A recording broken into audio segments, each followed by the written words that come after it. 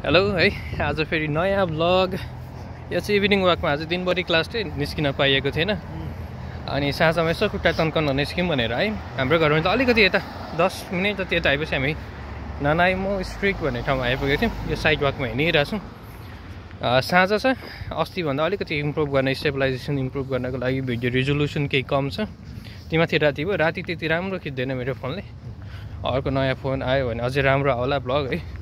के छैन। यो चाहिँ अहिले हामी ननाइमो स्ट्रेटमा चाहिँ इभिनिङ वक गरिरहेको छौँ। कस्तो लाग्छ ब्लग के लाग्छ कमेन्ट बक्समा राख्दा पनि भयो अथवा यो क्यानेडा गएर के गरिरहेछ भनेर थाहा पाउनको लागि पनि ब्लग हेर्दै गर्दा जस्तै हुन्छ। अथवा जति पनि क्यानेडाको लागि अप्लाई गर्दै हुनुहुन्छ सबको लागि अल द बेस्ट के छ कस्तो छ प्रोसेसिङ कहाँ पुग्यो के क्वेरिज क्वेसन्सहरू छ भने पनि कमेन्ट बक्समा राख्दा हुन्छ। हामी म लगायत थुप्रै नेपाली साथीहरू छौँ। मिलेर त्यो क्वेसनको एन्सर पनि एड्रेस गरौँला है। अनि ठिकै छ अहिलेको लागि चाहिँ हिँड्दैछौँ। बिल्कुलै नयाँ ठाउँ यो बाटो अरू बेला त हिँडेको थिएन।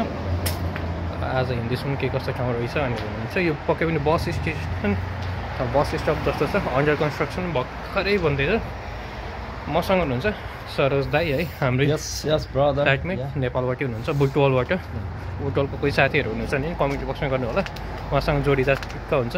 कोही भ्यानकुभर आउँदै हुनुहुन्छ तपाईँ यता आउँदै हुन्छ केही सल्लाह सुझाव छ भने पनि उहाँलाई सोद्धा हुन्छ। ठिक छ चिसो छ। ठ्याक्कै मौसम हेर्दा यति क्लियर छ चिसो छैन होला जस्तो लागे पनि त्यो लागेको मात्र हो है। निकै चिसो छ। साँझ परिरहेकोलाई पनि त्यति साह्रो क्लियर त छैन। भिडियो तर यहाँनिर युट्युबमा हेरेर हुन्छ नि नर्मली अरू डेभलप कन्ट्रीमा हेर्दाखेरि जुन क्राउड हुन्छ गाडी घोडा। यहाँ चाहिँ शान्त लाग्यो। तपाईँलाई कस्तो लाग्यो सर calm here. ए। तर यो भित्री त्यो स्ट्रिट भएर पनि होला होइन? अँ, अहिले भित्र साँझ त evening नर्मली time भएर पनि डाउन टाउनमा पनि। त्यस्तो साह्रो काठमाडौँको जस्तो जाम चाहिँ देख्न पाइँदैन। कहिले काहीँ हुन्छ होइन। ठुलो साह्रो हुन्छ तर उहाँको जस्तो क्राउड चाहिँ छैन। शान्त छ।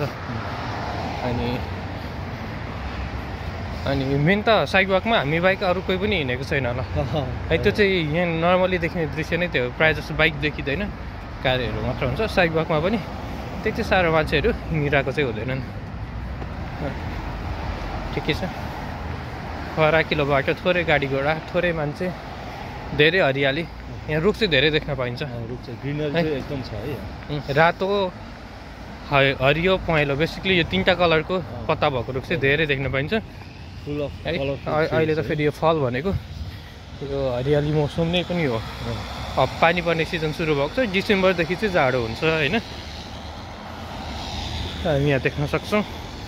रेसिडेन्सियल एरिया घरको मान्छेहरू बसोबास गर्ने ठाउँहरू हो।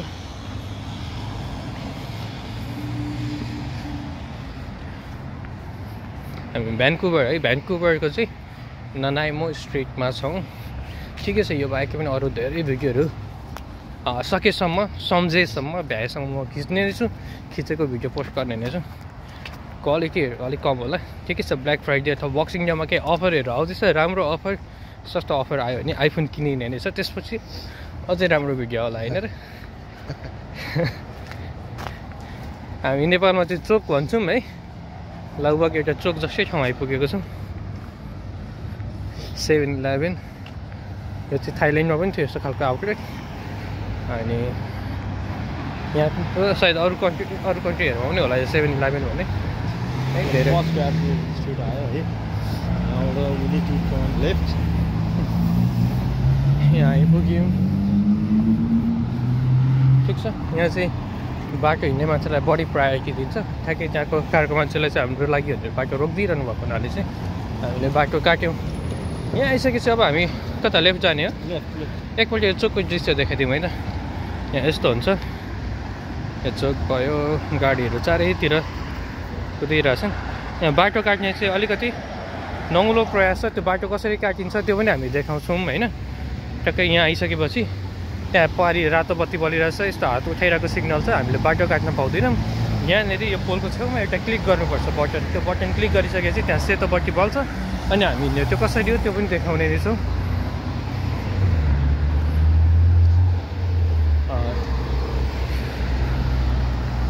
सायद त्यो अरू कुनै भिडियोमा ठ्याक्कै हामीले बाटो काटिरहेको बेला त्यो मौका पर्यो भने त्यो भिडियोहरू हामी बनाउने छौँ पर त्यो पोलको बिचबाट चाहिँ सेतो देख्नुभएको गोलो चन्द्रमा हो ठुलो सायद पूर्णिमा छेउछाउ भएर होला ठुलो फुल मुन देख्न सक्छौँ हेर्दा हेर्दै निकै अँध्यारो भयो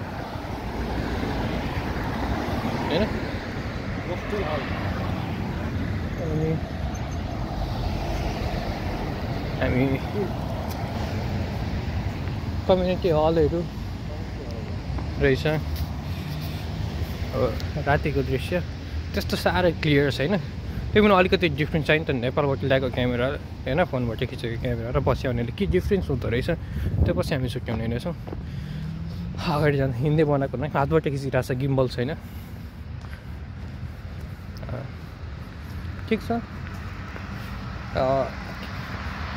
आजलाई यति नै गरौँ है। यस्तै बेला मौकामा नयाँ नौलो के देख्दाखेरि फेरि पनि खिचेर म अरू पनि भिडियोहरू हाल्ने नै छु। त्यति बेलासम्मको लागि चाहिँ भने यही भिडियो हाल्दै गर्नु होला नमस्ते बाबाई।